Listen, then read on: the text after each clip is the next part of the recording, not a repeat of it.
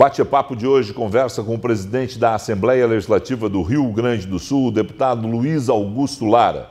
Vamos falar sobre o mandato na presidência da casa, mas também o início da carreira política em Bagé e tudo o que vai acontecer até o final do ano, quando ele preside o Parlamento Gaúcho. Fique com a gente aqui no BaTV e também nas nossas redes sociais.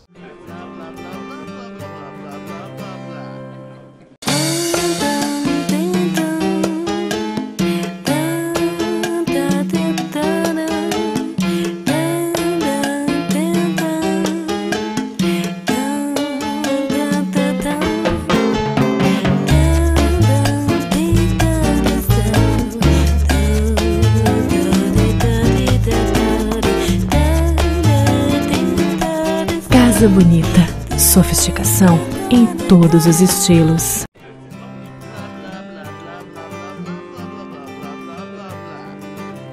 Meu convidado de hoje, Luiz Augusto Lara, deputado estadual, sexto mandato na Assembleia Legislativa, atual presidente da Casa. Deputado, muito obrigado pela oportunidade de conversar conosco. Obrigado, Felipe. Obrigado a ti pela presença. Uma honra estar no teu programa. Deputado, sexto mandato, vereador em Bagé, mais seis mandatos na Assembleia Legislativa.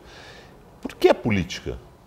Porque é através da política que a gente consegue tocar na vida de milhares de pessoas, né, com as ações, né? Uma ação que tu faça, ela pode tocar na vida de milhares de pessoas, como por exemplo essa do Fum Criança, que nós encampamos a Assembleia, destinar parte do imposto de renda para o Fundo da Criança, aumentamos em 42% a arrecadação para hospitais, para ligas de combate ao câncer, para a paz. Então, isso é o que me fascina. Trabalhei 15 anos na iniciativa privada, né? fui empresário durante 15 anos. Mas, mas fecha essa conta aí, 24. Quantos anos está? Eu estou com 50. É, comecei muito cedo, né? Ah, meu primeiro negócio. Eu achei que o senhor tinha menos, deputado. É, não, estou com 50 já. Porque eu me lembro quando o senhor chegou aqui, o senhor era realmente um guri é. de Bagé. Desse guri cara. de Bagé, é verdade. Ah. Com 27, 28 anos aqui, né, na, no meu primeiro mandato aqui, mas já havia sido vereador por dois mandatos uhum. em Bagé. Então, ah, isso ao longo dos anos, né? Meu primeiro negócio foi com 17 anos, entrei, comecei a trabalhar com produtora, né? Filmava casamentos, né? Aniversário, até velório, a gente acabava fazendo cobertura. Tudo. Tudo, né? Que caía na frente. Caía na frente, era uma produtora de vídeo, né? Depois daquilo ali comecei a Por trabalhar. Por que produtora de vídeo? onde, é que, onde é que a comunicação entrou ali? É, a comunicação entrou desde cedo na minha vida, né? Eu, eu trabalhava promovendo eventos. Certo. Ah, então, depois com o tempo, tive casa de eventos em Bagé, Punta del Este, trabalhei em Buenos Aires, em Pelotas, Isso em tudo Rio antes Grande. dos 27 anos?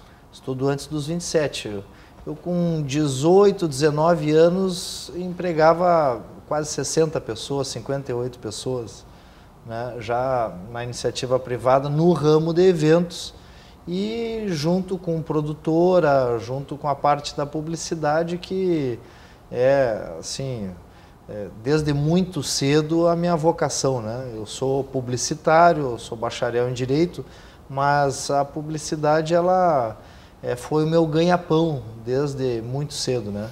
E onde é que a política entra?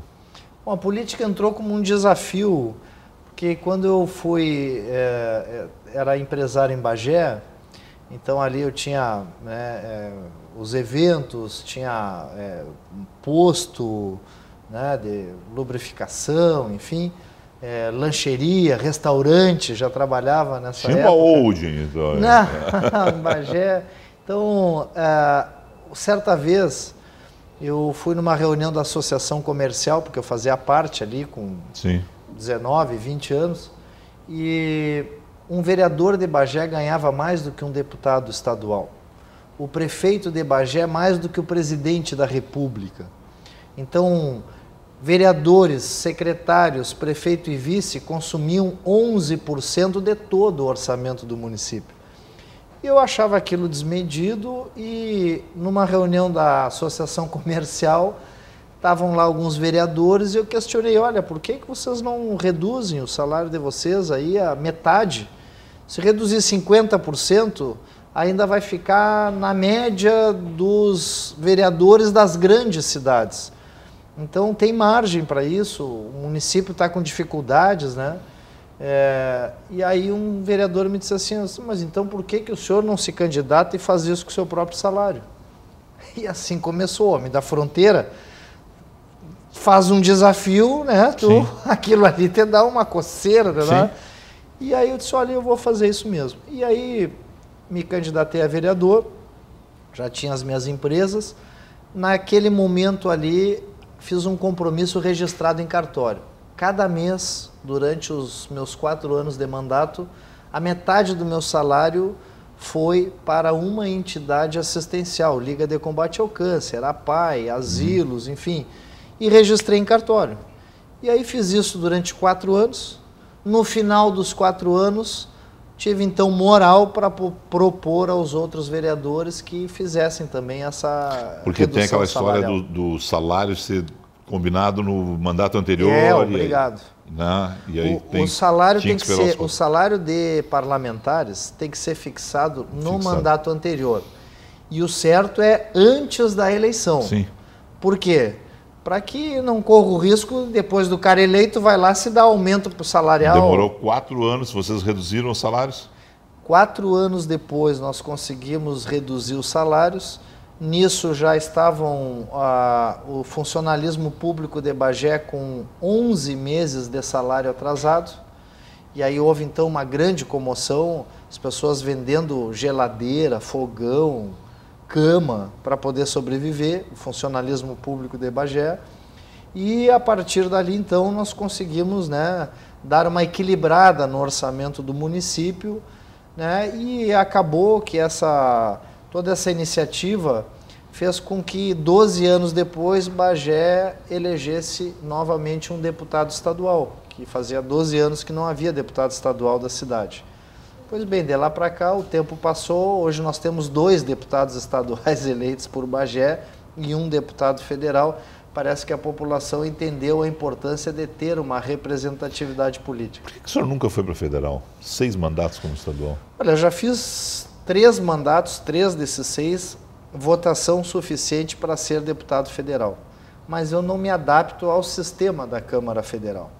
Aquela questão onde ou tu participa né, é, daquela roda, daquela ciranda que tem ali, emendas e, enfim, ministérios, e, é, ou tu fica fora, fica lá no baixo clero, é, eu, assim, eu não... Eu não... Deputado, o senhor é um homem maleável, o senhor, é, o senhor é do parlamento, e o senhor tem três Uh, passagens por três governos. O, o senhor é um fenômeno no Rio Grande do Sul. Não, não, o senhor conseguiu passar pelo governo Rigoto, governo Tarso, governo Ieda, isso, né? É Como isso. secretário de Estado. Exatamente. E os três me convidaram para ser o candidato a vice deles no final da sua gestão. Os três lhe queriam, queriam o PTB junto. Mas como é que é isso? Como é que um homem que consegue pegar e passar por três governos tão diferentes, não acho que não vai se adaptar em Brasília, por exemplo? É, isso me deu caldo para hoje administrar o parlamento. Certo. Veja que nós temos 17 partidos, é a maior representação partidária da história do parlamento, 17 bancadas aqui dentro, e o parlamento está produzindo. Nós estamos produzindo em três, quatro meses o que se demorou dois, três anos para uhum. conseguir a, alcançar em termos de produção legislativa no parlamento entendimento no parlamento, nós estamos conseguindo navegar sem maiores problemas. Um caso, por exemplo, dessa semana, o senhor diria que é colocar segundo turno a votação na do fim dos plebiscitos das estatais, por exemplo, que era um assunto que no, ano, no, no, no, governo passado foi amplamente debatido, mas a Assembleia nunca colocou em votação, por exemplo. É, não conseguiu colocar e agora foi a votação e estamos aí num processo né, muito importante que deve as decisões que passarem esse ano no parlamento devem ter repercussão na vida dos gaúchos nos próximos 30 anos. Sejam concessões de estradas, que o pedágio vai vigorar por 30 anos. Seja privatizações de empresa, que pode ser, dependendo do modelo, quem compra as empresas pode levar o passivo, ou quem compra as empresas pode deixar todo o passivo para o Estado e levar só o filé. Então, é, decisões como essa, parcerias público-privadas, em que moldes, tudo isso será decidido esse ano aqui e terá repercussão pelos próximos 30, 40 anos. No governo Brito, a CE foi dividida em três, o passivo ficou com a CE, RGE e a ES Sul, que compraram naquelas partes divididas, ficaram sem o passivo. Sem o passivo. E aí se dizia o seguinte, não, mas se, se vender a CE, ninguém vai querer pegar o passivo da CE. O senhor acredita que nesse atual momento econômico possa ser privatizada a CE com alguém levando o passivo junto? Olha, eu não sei se todo o passivo, mas levar só o filé e deixar o osso também não pode. Vai ter que uma parte boa do passivo tem que levar. Achar o ponto de equilíbrio nisso é o desafio. E o que eu passa vi, pela Assembleia. A, não, é tudo passa pela Assembleia. A modelagem dos contratos. Hoje nós temos o pedágio mais caro do Brasil e as piores estradas do Brasil, porque naquela época do Brito não se discutiu a modelagem se discutiu se era a favor ou contra, se era o caminho ou se era o pedágio. Sim. Mas a discussão ficou rasa, ela não foi aprofundada na modelagem dos contratos, que é o que vai fazer toda a diferença para a vida dos gaúchos. E o que eu vi ao longo dos governos que eu ajudei aqui no Rio Grande do Sul é que por mais que as ideologias tivessem, os discursos fossem diferentes, né, um mais estatal, um mais é, privatista, os problemas eram os mesmos. Os problemas são os mesmos. Então não adianta muito a gente ficar na retórica, né? Porque o problema é o mesmo. Eu, quando fui secretário é, do turismo, não havia dinheiro para o turismo.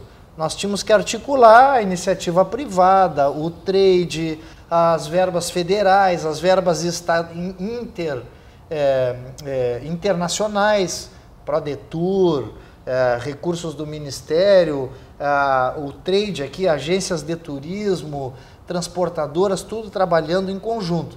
Quando eu fui secretário do Trabalho, posteriormente, nós fizemos a maior qualificação da história do Rio Grande do Sul.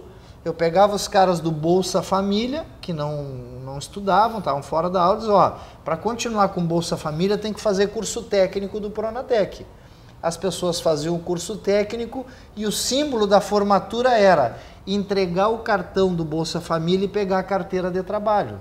Então nós fazíamos, até tem um caso muito interessante disso, que nós conseguimos o um emprego né, para algumas pessoas, né, e, e a pessoa entregamos a carteira de trabalho ali, já o, o, o empresário já assinou a carteira para admitir a pessoa e a pessoa tinha que entregar o cartão do Bolsa Família, porque ela já não ia se enquadrar mais nos parâmetros do Bolsa Família. Sim.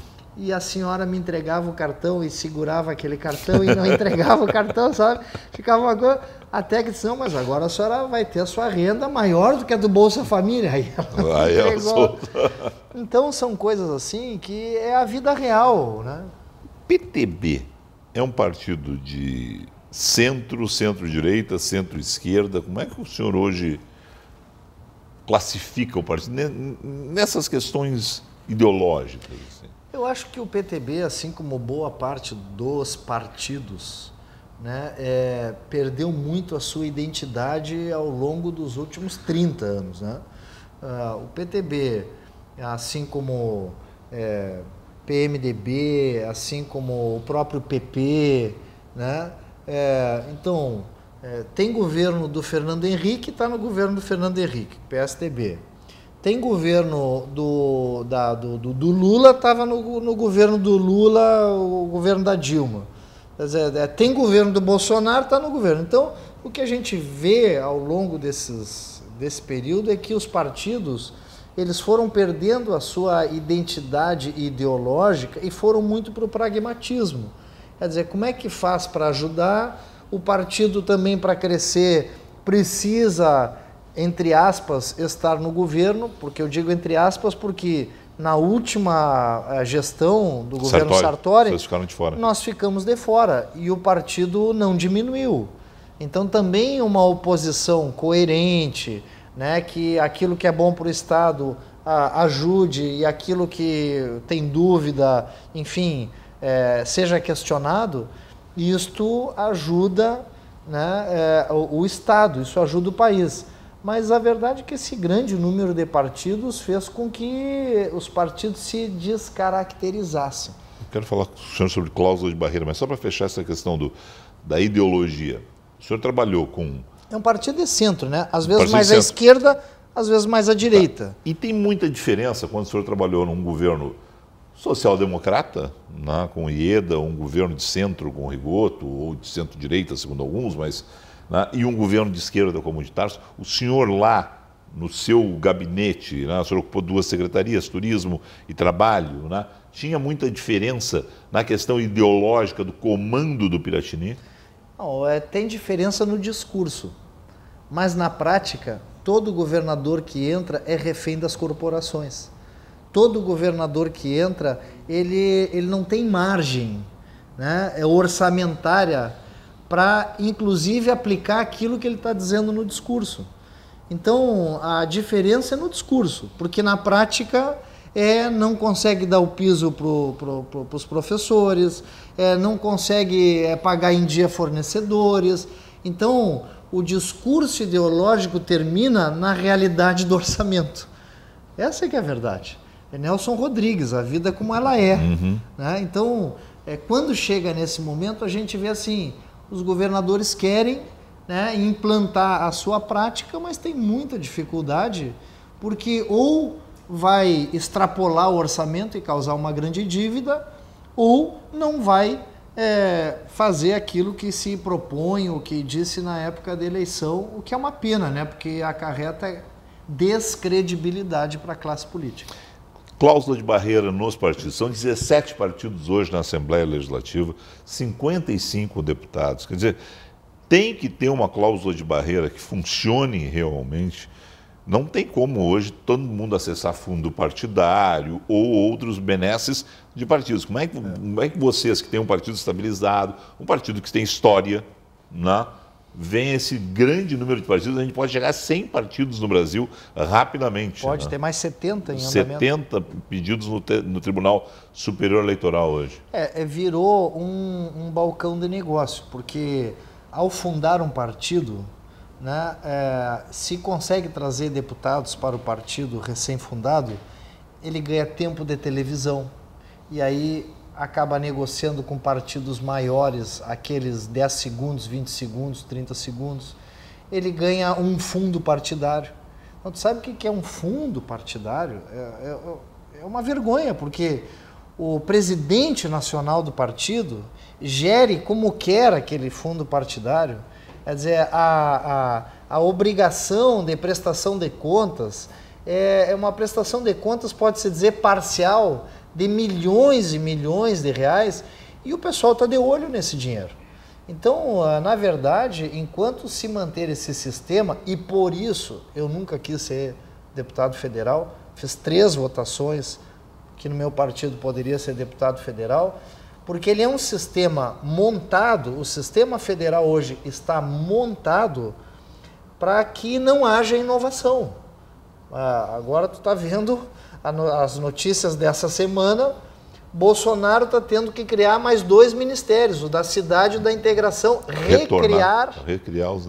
recriar os ministérios para acomodar a base, por quê? Porque senão não funciona nem a votação da Previdência, que é uma grande, a coisa mais importante que tem para fazer hoje no Brasil, nem a votação vai andar, porque não consegue fazer o loteamento de cargos. Então, isso é uma coisa de uma dificuldade né, o, uh, que não me agrada, não me, não, não me motiva, Fernando. Felipe. Só para não. Eu fui um daqueles que dei pau e não acreditei né, quando o PTB ficou fora do governo Sartori. O senhor já me disse aqui que não diminuiu de tamanho. É não, mas eu, eu, disse, eu disse, mas o PTB, como é que vai acomodar todo mundo? Tinha gente lá na Secretaria do Trabalho, a Secretaria do Trabalho tem muitos cargos em comissão e tem muitas FGs. Né, vai ficar de fora. E vocês sustentaram. É, eu, eu especialmente fui um dos líderes. Pois é, mas por momento. que naquele momento? Né? Precisava uma depuração, precisava um período sabático, uma quarentena. chega um momento que o próprio partido se descaracteriza. Tu já não conhece mais as bandeiras do partido, o que, que o partido defende, o que, que não defende, por quê? Porque ele está indo, entra governo e sai governo, ele está ali, e aquilo vai descaracterizando, vai tirando o teu semblante, entende? Então, ficar fora naquele momento, né? depurar, porque também o pessoal vai se acomodando nos cargos, Sim. e cargo de confiança é, tem, um, tem uma coisa muito interessante. Ele vai ficando, quando ele fica muito tempo no mesmo cargo, ele por osmose, ele vai se sentindo concursado. Então ele acha que ele tem que fazer o trabalho dele, seis horas da tarde vai embora, e não é assim. Cargo de confiança e mandato parlamentar, seis horas da tarde, é o tempo de tomar um café e começar o terceiro turno. É um erro, talvez nosso da imprensa. Eu, eu, já fiz alguns comentários nesse sentido, porque as pessoas não têm essa ideia do que o senhor falou. As pessoas têm a ideia sempre o seguinte: que o cargo em comissão, o cargo de confiança, né, aquele sujeito que vem, passa por ali, pega o dinheiro dele e vai embora. Lá no fim do mês, saca o dinheiro dele lá e vai embora. Não, a gente tem, eh, quem conhece, quem, quem, quem foi repórter como eu nessa casa, Assembleia, no Palácio Piratini, sabe que é exatamente o contrário. O cargo de confiança é o primeiro a chegar e o último a sair, muitas vezes. Sim. Mas também cria aquela situação de muitas vezes com muito tempo, ele se achar um, uma figura que está dona daquele cargo. Por osmose, e, ele vai e, se achando e, concursado. E vai. E que pode sair às seis da tarde. E vai relaxando. É, é isso aí. É exatamente isso. Para ser cargo de confiança, é, são necessárias duas atribuições para ser um bom cargo de confiança. Atribuição técnica, ele tem que conhecer o métier do que ele vai tratar e a política. Então, durante o horário do expediente, ele tem que fazer de igualdade com os servidores de carreira a parte técnica. Ele tem que saber liderar, ele tem que saber do que se trata, ele tem que ter conhecimento de causa. E depois do expediente, ele tem que fazer a política. Ele tem que ir lá visitar as lideranças, conhecer, montar. Então, é, não, não, não, não se concebe hoje em dia mais alguém que venha, que ganhe um presente, porque tu ser um cargo de confiança é a indicação é um presente. Aí tu ganha esse presente para ser o que é só político? Não serve. E aí tu passa vergonha na frente dos técnicos só técnico e não faz política também não serve porque aí tu passa vergonha na frente do partido. Então hoje está cada vez, a peneira está cada vez maior. Não tem mais aquela coisa, bota o fulano aí porque me, me pediu. Não, não tem. Não tem mais. Não, não, não, não tem espaço para isso, a concorrência está muito grande, a qualificação técnica e política são necessárias. As pessoas em casa entende isso hoje? Já começam a entender isso? Não, acho Ainda que tem não. uma dificuldade não, grande? Acho que não, até porque é, é, a gente tem que mostrar a necessidade que tem de nós estarmos fazendo o que estamos fazendo. E até hoje é, é, tem se mostrado a classe política e os cargos de confiança e o próprio servidor público acaba muitas vezes não mostrando o quão necessário ele é para aquela função. Então aí vem aquela coisa, não, pode fechar isso aí, para que esse pessoal aí? Bom, é, são necessários brigadianos? Brigada militar? São necessários. Sim. Bom, então todo mundo sabe que tem que contratar brigadiano. São necessários professores? São necessários. Né? Tem que dar aula, então é necessário contratar professores. Bom, mas são necessários pessoas para tratar na área da publicidade, da secretaria tal? Ah, não sei se são necessários, talvez não precisa tanto, pode ser menos. Então, mostrar a necessidade da, de eu estar executando essa função, eu acho que é o primeiro passo para o convencimento da sociedade da importância do processo político. Hoje a Assembleia, de todos os poderes, órgãos de fiscalização e controle, é o que menos recurso gasta de dinheiro público do Estado. O Judiciário consome seis vezes mais do que o Legislativo, o Ministério Público consome duas vezes mais do que o Legislativo e o Tribunal de Contas, que é um órgão auxiliar da Assembleia Legislativa, já emparelhou e está passando o que consome de recursos públicos à Assembleia Legislativa. Então, tu mostrar né, que tu gasta pouco e trabalha bastante, é o primeiro passo para ter o reconhecimento e ter moral perante a sociedade.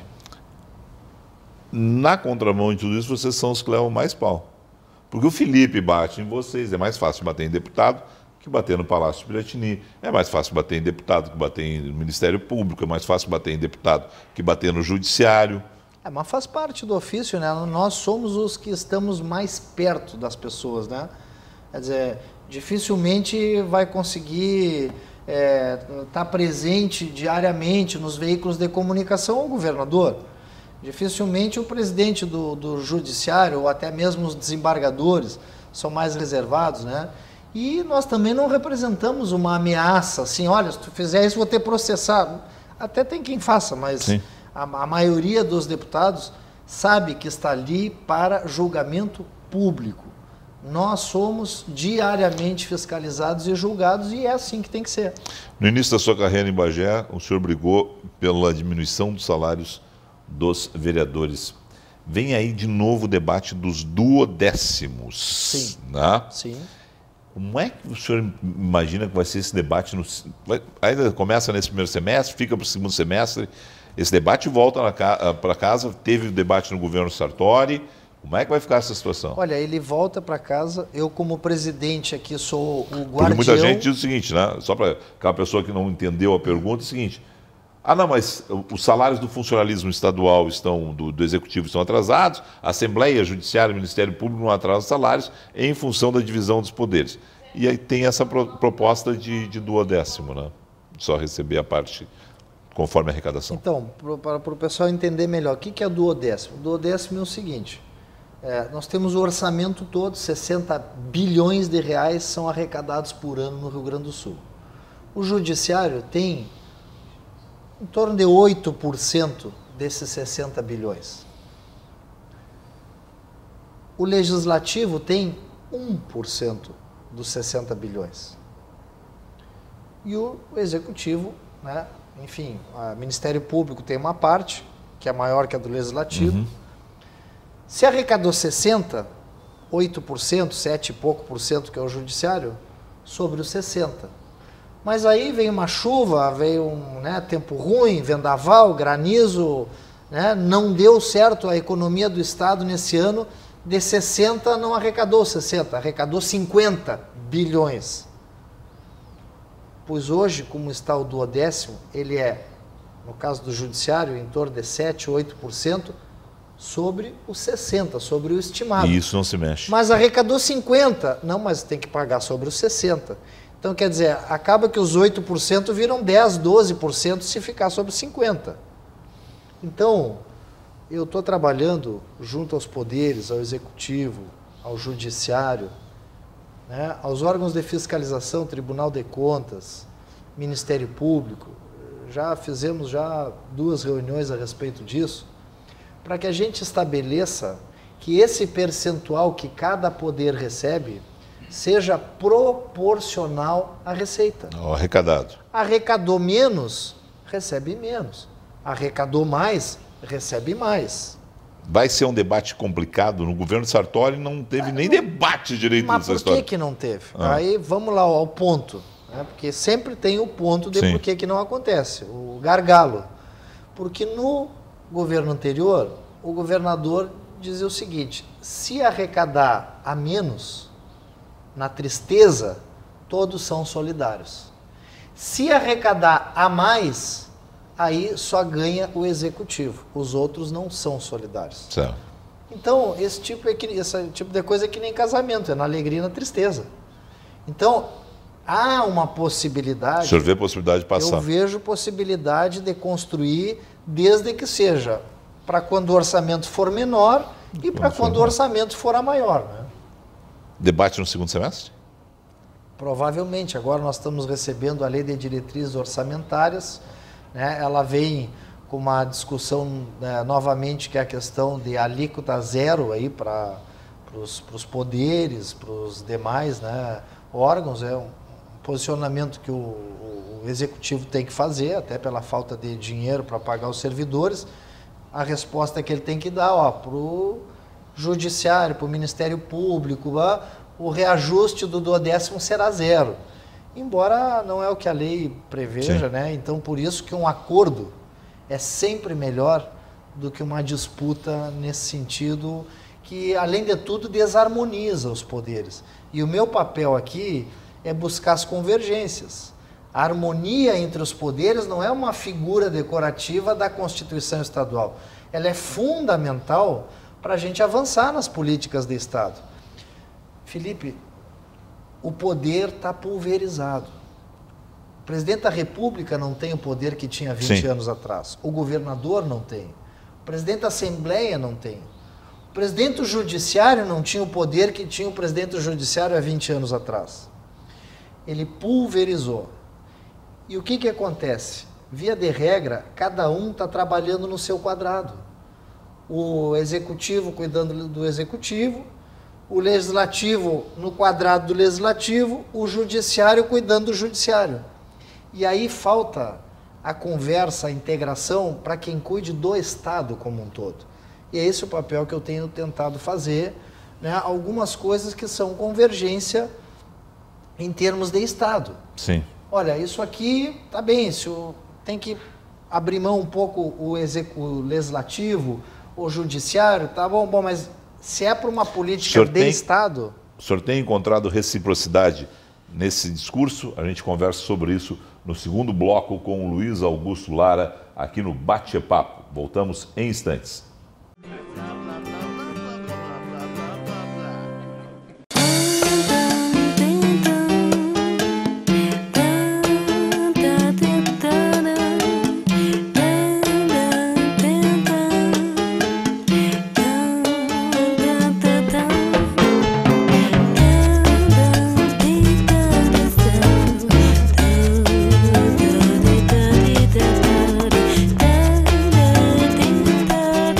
Casa Bonita. Sofisticação em todos os estilos.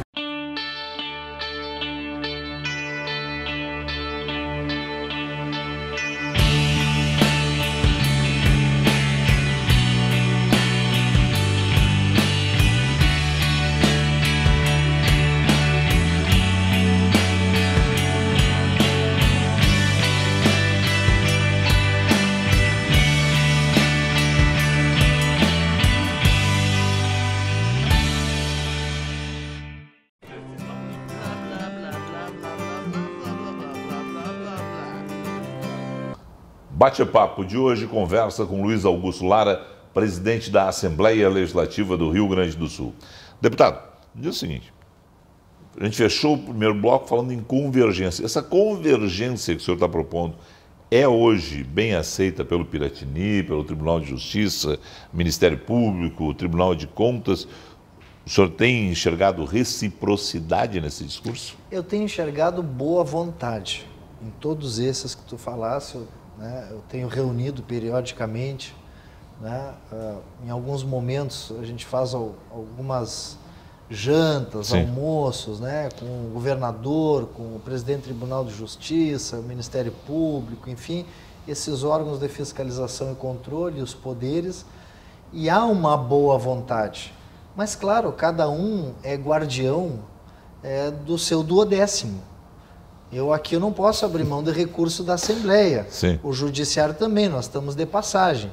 Agora, se isso é dentro de uma composição maior, onde, por exemplo, a- haja e, e- e está começando a haver os primeiros sinais da boa vontade do governo do estado em dar transparência aos incentivos fiscais, por exemplo.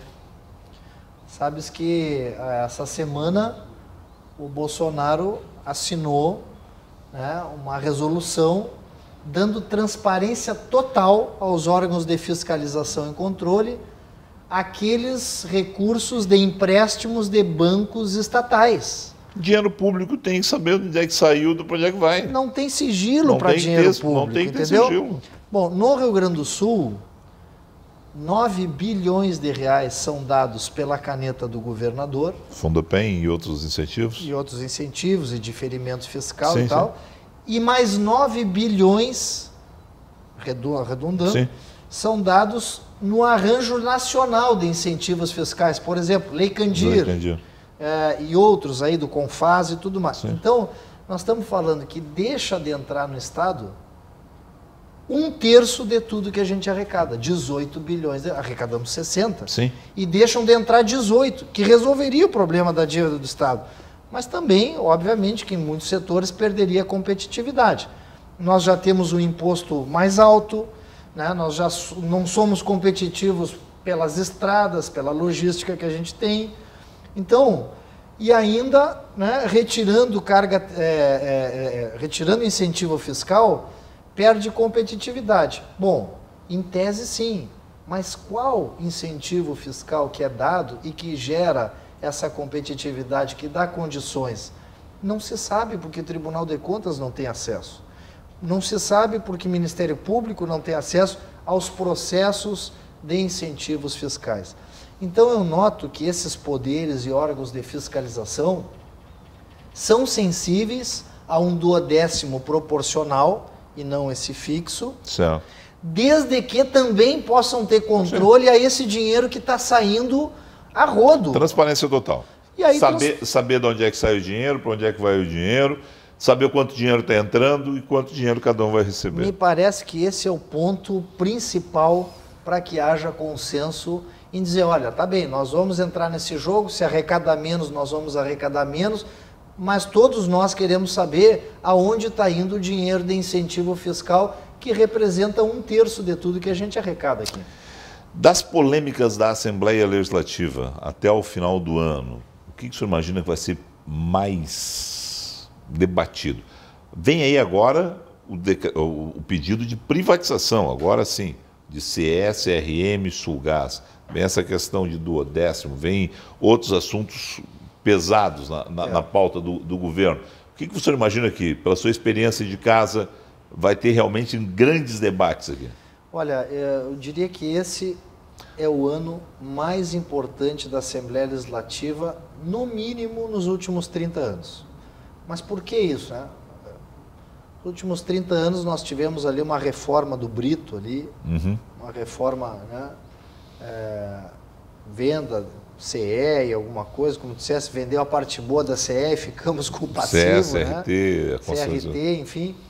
Mas agora a reforma parece que ela é mais ampla, porque há um clima no país, há no mundo, há no país, e não é diferente no Rio Grande do Sul, que ainda é um estado que ainda tem muitas coisas que em outros estados já foram reformadas, já foram vendidas, já foram negociadas, concedidas. Então, é uma discussão muito importante, porque esse ano é o mais importante, porque as concessões de estradas que vão durar pelos próximos 30 anos. Hoje nós temos esse pedágio, essa estrada Pelotas-Porto Alegre, que é a que mais mata no sul do estado e custa 60 reais para te ir e voltar a Pelotas. Não tem como, né? Se tu fores de Torres a Florianópolis, vai e volta custa 7. E aqui custa 60 e olha a estrada de Torres a Florianópolis e olha a estrada. O que, que é isso? A modelagem da concessão, o contrato. Então nós vamos ter que nos debruçar nisso. Vai ter efeito pelos próximos 30 anos. Pode a Assembleia hoje aprovar algo como era? Não igual, mas muito semelhante ao Duplica RS, que a governadora Ieda tentou passar. Não passou porque naquele momento, politicamente, o governo estava muito instável? É, é um modelo. É, é um dos modelos, é uma modelagem. Então, isso para a estrada. Mas nós, nós vamos falar da venda de estatais. Como é que é? Quem vai comprar? Vai comprar com passivo ou sem o passivo? Sim, porque vender Sim. sem o passivo é uma barbada. Agora, em que quanto do passivo? Então é uma discussão, vai ser importante. E, e vai ter um efeito. O que, que vai ser feito com o dinheiro? Vocês já sofreram pressão na votação dos plebiscitos. O senhor imagina que votação de CS, RM, Sulgás, teremos praça ah, cheia, é, mais situações ainda. É, não, eu acho que sim, acho que e é importante que seja assim, para que a gente assim qualifique o critério uhum. do que nós estamos votando aqui. Então, uh, uh, por exemplo, o que será feito com o dinheiro das estatais? Eu advogo aqui que não possa ser feito, que seja vedado o dinheiro para o caixa único e para pagamento de juros da dívida. E que esse dinheiro seja utilizado em é, manutenção e investimento na saúde e investimento em infraestrutura. Para as pessoas entenderem que estão em casa, se pegar esse dinheiro, um bilhão, vai ser mais, vamos lá, um bilhão, joga no caixa único, ele paga uma folha aí, ele, tchau.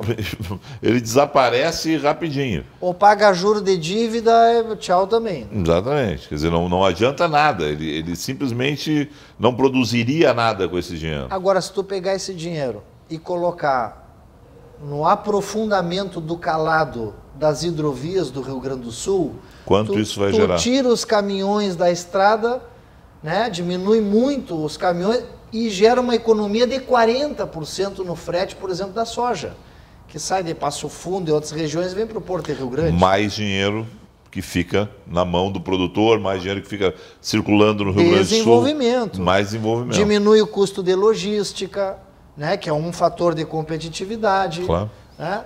É, bom, mas discussões mais quentes ainda devem acontecer aqui pelos movimentos que nós estamos vendo no governo. Por exemplo, hum. é, transformação, né, atualização, seja o nome que quiser dar, para o plano de carreira dos servidores. Vem aí a secretária Leani Lemos, conversei com ela há alguns dias, ela disse, olha, vamos deixar passar o plebiscito, né? mas o governo, pelo que eu entendi, está com um projeto pronto né, para mexer em diferentes carreiras do funcionalismo e vai pegar o CPERS, vai pegar ali o Magistério Público Estadual. Bom, então é o seguinte, aí, tu, aí não é só os eletricitários da CE, Sim. os mineiros da CRM ou o pessoal da Sulgás. Aí é todo mundo. Aí tu pega 80% dos servidores são professores e é, agentes da segurança pública. Então isso, isso faz, isso mexe na vida de muita gente. Previdência vai passar uma previdência aí, estão trabalhando um modelo de previdência federal, né? mas a, os deputados federais não querem entrar na questão do Estado, para eles não serem rejeitados no Estado, querem passar para as assembleias. E aqui a previdência do Estado tem um rombo, um déficit de 12 bilhões por ano. E aqui já foi corrigido para cima a alíquota. Já está no teto. E, e o governo está falando, né, as primeiras, o governo não, assim, as conversas de corredor, que poderia ter mais 8% em cima, chegar a 22%. Não vou entrar no mérito se é legal, se não é legal, mas será muito polêmico. Claro. Muito, e isso agrega todas as classes do funcionalismo público. Então, assim, nós teremos grandes discussões. O senhor imaginava isso quando o senhor pegou e, e, e foi escolhido dentro da bancada do PTB para ser presidente da Assembleia Legislativa, porque um ano é, é um ano bom em função de tantos debates, chama atenção para casa, mas é um ano pesado. É um ano pesado. É um ano pesado e é, nós tínhamos assim o primeiro desafio que era ordenar, né, é, concatenar as 17 bancadas aqui dentro. Porque quando eu entrei aqui, né, no meu primeiro mandato, fazia uma reunião de líderes de bancada, eram seis. Eram oito no máximo. Eu, eu vou lhe dizer o seguinte: quando eu, quando eu comecei a fazer reportagem na década de 90 na Assembleia Legislativa, qualquer problema muito sério que tinha na Assembleia Legislativa, uma, uma votação muito complicada, eu conversava com três é, deputados, é, claro. quatro, e a gente já mapeava os 55. É a gente tinha uma ideia perfeita. Né? E ali conversava com Jarbas Lima, com Mendes Ribeiro, com João Luiz Vargas, né, é, Carlos Araújo, já tinha a temperatura, Flávio Kutz, já tinha a média geral. Já, já, sabia, já sabia o que ia acontecer. Né? Felipe, essa mesa aqui, ó, essa é a mesa da reunião de líderes. Então, nos últimos 50 anos, Nada é votado no plenário que não haja um acordo de líderes nesta mesa. Sim, pra, e antigamente eram 5, 6, agora Bom, são 17 líderes. Essa mesa tem 22 lugares, ela nunca foi ocupada na, to, na totalidade. Sim. Neste mandato, nós temos 17 líderes de partido e 17 líderes de bancada. Então são 34 como nós temos 22 lugares, eu tenho que botar uma outra fila de líderes é, atrás. 34 para um total de 55. Sim, é, é, é quase mais cacique do que índio. Né? Exatamente. é isso aí. É, mas então, esse foi meu primeiro desafio. Né? É, assim, trazer estabilidade para isso. né, para esse colégio de líderes, né, poder ter o respeito desses deputados. Aqui o, o, o, o mais bobo aqui enche o Beira Rio, né? Sim. Ele bota 40 mil pessoas aí, Sim. 30 e tantas mil pessoas, né? O mais ingênuo aqui. O, né? Então, nós estamos lidando com líderes mesmo, né? Então, obter o respeito, né? a, a credibilidade, poder é, é, harmonizar isso era o primeiro desafio. Bom, acho que isso nós estamos conseguindo. Parece que há um clima aqui de, de, de integração na casa, né? No mesmo momento que tem uma pauta tão pesada a Assembleia Legislativa, tem muito deputado novo na casa. Teve uma grande renovação na casa. O senhor que já foi um deputado novo lá atrás, uhum. né, como é que faz para passar essa experiência hoje a esses deputados que estão chegando? E todo mundo chega com uma impressão errada, né? Que vai fazer, que vai acontecer, né? e tem limites o mandato. Né? Sim, é. Bom, fui... E com as promessas de campanha, aquela coisa lá atrás? Foi muito bom quero dizer que oxigenou a casa. É, 28 novos deputados. Aliás, a maioria Sim, dos a deputados. maioria dos deputados são novos. Tá? Mais de 50% são novos. Bom, é, isso oxigenou. Vê que a casa está se movimentando, nós temos audiências públicas, temos audiências aqui dentro, ah, os temas, cada vez que tem um tema, queriam nos levar o dinheiro da Lei Candir, lá o TCU, tentando Sim. dizer que não, não, não tinha mais dívida. Nós somos lá 17 deputados de todas as bancadas, enfrentamos, conseguimos manter aquele é, passivo que o governo federal tem conosco, né, para ao menos na hora do encontro de contas nós termos algum argumento jurídico. Ah, nós estamos devendo, mas eles também estão nos devendo. Ah, acho que não vamos pagar nunca a Lei Candir, mas é o, é o jeito de fazer o clinch. É uma pressão. É o jeito de fazer uma... o clinch com o governo federal claro. para nós não irmos a nocaute aqui, né? Então, é, nesse momento, é, esses novos deputados trouxeram oxigênio na casa. Não tem aquela coisa. Eu, quando entrei novo, eu corria muito, né? Sempre corria, sempre fui muito ativo. E eu me lembro que tinha alguns deputados, né? É, meus colegas, foram até governadores aqui depois, alguns diziam assim, Larinha, devagar, Larinha, tu está com muita pressa, não é assim, tem que devagar, dá, dá. E, eu, e aquilo me incomodava, porque eu gosto como devagar, né? E, bom, então o pessoal entrou aqui com essa vontade, com essa pressa, mas numa diferença básica de quando eu entrei novo. Eu entrei novo aqui, eu era um analfabeto funcional das questões da Assembleia. Certo. Né? Eu, era um mundo novo e eu demorei assim um ano, dois para entender como é que funcionava a Assembleia. Até porque tinha os mais velhos que vocês tinham o respeito. É, tinha, tinha, uma hierarquia. Tinha uma hierarquia. Tinha uma a antiguidade era posto. A antiguidade né? era posto. É, e, e, na verdade. Agora 28 a 27, a antiguidade já não, é não é posto. E não é, né? Porque Sim. pode fazer 200 mil votos ou pode te eleger com 20 mil votos. O mandato é igual. Só tem um voto ali. Sim. O voto dele é um só. e o mandato tem... é igual. E peso... o mandato é igual. É. Né?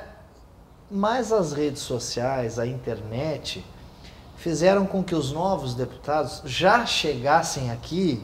Não é aquela coisa de arranca parado. Não uhum. arrancou parado. Os deputados já arrancaram acelerados. Isso mudou muito, porque vocês, por exemplo, quando chegavam aqui, o seu caso, outros deputados, o deputado chega novo. O Felipe, que está aqui, eh, cobrindo a Assembleia Legislativa, vocês são o último da fila para a gente conversar. Sim. Né? Porque a antiguidade era posta, a gente ia nos mais lógico, velhos, nos mais experientes, tirar a febre. Né? A rede social mudou muito isso, quer dizer, o cara grita na rede social, aí o, o jornalista que está cobrindo a casa, não, para um pouquinho, mas o deputado soltou um Twitter lá, e aí mudou muito isso. Mudou. Mudou, hoje é igualdade de condições, não adianta ser antigo se não for ágil. É experiente, mas não tem agilidade, vai ficar para trás. Né? Porque o conhecimento está à disposição de todos nas redes sociais. Não tem mais. A, a, a casa hoje tem um sistema que tu, tu abre, né? É, tu, tu sabe o seguinte, ó, quantos, quanto gasta cada parlamentar, o que, que ele está fazendo, aonde ele foi, com quem ele foi. Então é um, é um, Big Brother, é um sistema de vigilância. Ah, nós temos aqui na casa, por exemplo, o sistema mais rigoroso de concessão e fiscalização de diárias é o nosso. nós fizemos um comparativo com o Ministério Público, com o Tribunal de Contas e com o Poder Judiciário, nenhum deles é mais rigoroso do que o nosso. Claro, nós tínhamos que fazer o comparativo com quem nos fiscaliza e com quem nos julga. Nenhum deles é mais rigoroso do que o nosso. Nós temos aqui hoje, né, é, tivemos aqui a, a coragem, né, é, e os novos ajudaram muito nisso, de extinguir aquele auxílio de final de mandato. Quer dizer, cada deputado no final do mandato recebia um salário no final do mandato e um salário no início do novo mandato, era a cada quatro anos, mas era 50 mil reais bruto. O deputado recebia aí em torno de 36, mas era, bom, nós extinguimos isso aqui. Entre nós, deputados, nós estamos aqui, conseguimos fazer com que no ano passado, que era o ano para votar a reposição salarial dos deputados, que estavam quatro anos com os salários congelados, nós conseguimos que não fosse a votação isso, e nós passaremos aqui oito anos sem reajuste salarial.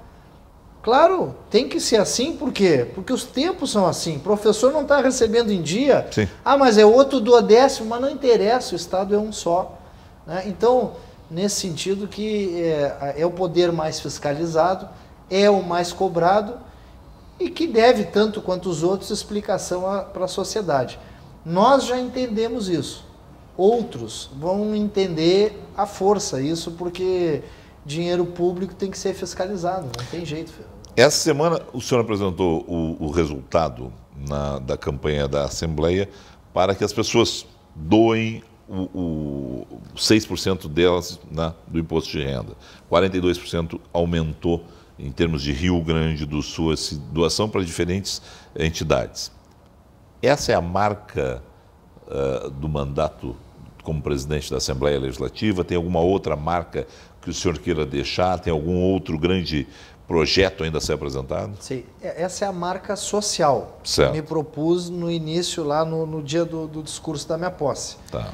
É, fui criança, ninguém precisa tirar dinheiro do bolso, é destinar 3%, agora foi em abril, dia 30 de abril, último dia, 3% do imposto devido para a Receita, 3% para o fundo da criança, que vai abastecer hospitais, APAES, ligas de combate ao câncer, IMAMA, etc. No final do ano, poderá destinar 6% do imposto de renda. Então, esse ano, o Rio Grande do Sul foi o estado que mais cresceu a destinação no país, 42%. É a marca social. Mas tem uma marca, né, nós temos mais quatro itens aí, que é a, a, o, o eixo social, é esse, o eixo de desenvolvimento, e no eixo de desenvolvimento nós temos aqui a Assembleia tem um papel fundamental né, na formatação de processos, de projetos de concessão, de privatização, né, de aprimoramento. Então, quer dizer, é, tu não pode falar em desenvolvimento se tu não tiver estrada. E se nós não votar a concessão de estrada esse ano, eu, eu vou considerar um fracasso a minha, a minha gestão aqui na Assembleia, porque é sim. eixo de desenvolvimento. Claro, sim. Isso está para ser votado há quantos anos? As estradas estão sem concessão e não. Então agora, então essa o, o eixo de desenvolvimento passa pelas concessões de estradas, pela, pela boa formatação de parcerias público-privadas, né? Nós temos o eixo fiscal, que é o terceiro eixo, que ele é dois itens. É Lei Candir, que quase perdemos e agora conseguimos retomar, e vamos agora, tem um prazo ainda que eu nunca vi isso, depois de transitado em julgado, o STF abriu novo prazo ainda para o Congresso fazer a regulamentação, mas nós estamos trabalhando em conjunto com a bancada federal gaúcha e transparência nos incentivos fiscais, que é o eixo fiscal. Se nós der transparência, eu não sou contra incentivo fiscal, eu não tenho um deputado aqui contra. Nós queremos saber aonde está indo o dinheiro. Então essa transparência faz parte do meu eixo fiscal. Se eu conseguir isso até o final do ano, acho que o eixo fiscal eu vou ter né, feito acontecer. Deixar diferentes marcas. É, e, e por último, né, a questão do que nós temos aqui é um eixo cultural, né, que é é, o aporte, a parceria né, na Semana Farroupilha. Por que Semana Farroupilha?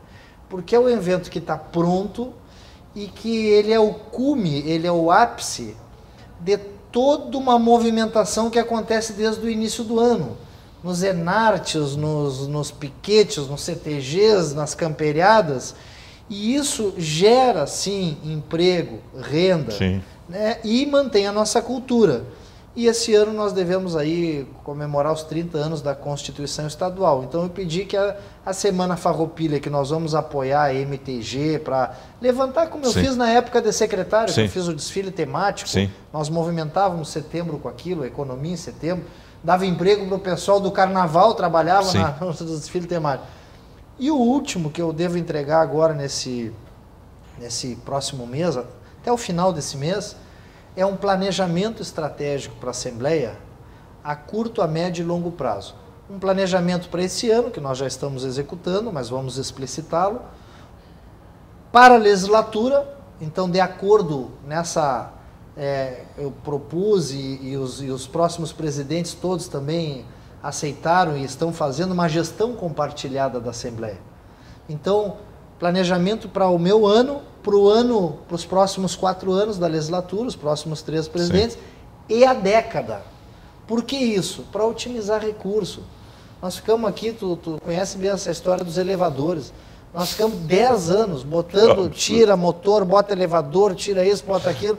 Então nós precisamos assim ter um planejamento para otimizar recurso e estabelecer na Assembleia uma política de Estado, não mais de partido simplesmente, mas de Estado entre quem entrar na presidência, naquela cadeira ali, sabe o que tem que cumprir, qual é a missão que tem na casa. Então é esse o desafio, meu amigo Felipe. Boa missão. Obrigado, Obrigado aí, uma excelente gestão. Obrigado para todos nós. Aí. Conversei com o deputado Luiz Augusto Lara, presidente da Assembleia Legislativa do Rio Grande do Sul, no Bate-Papo. Você confere o programa na íntegra nas nossas redes sociais e nas reprises aqui no BAT TV. Até a próxima!